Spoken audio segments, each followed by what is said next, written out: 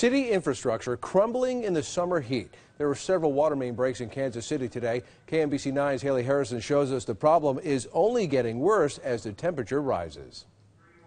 Neighbors here say that it was three days ago that a pipe beneath 80th Street snapped. Today, crews got out to make some repairs, but not before water flooded neighbors' yards.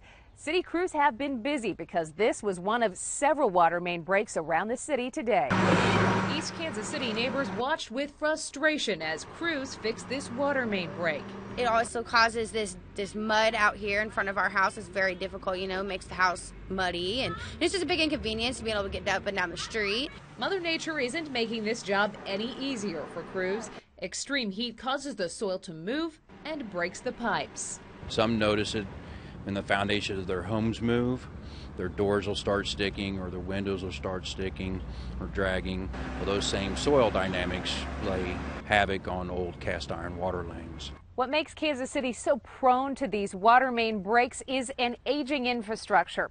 Some of the pipes beneath our streets are 140 years old. Reporting from East Kansas City, Haley Harrison, KMBC 9 News. The KC Water Services Department says there have been more water main breaks this year than last year because of warmer winter and spring weather.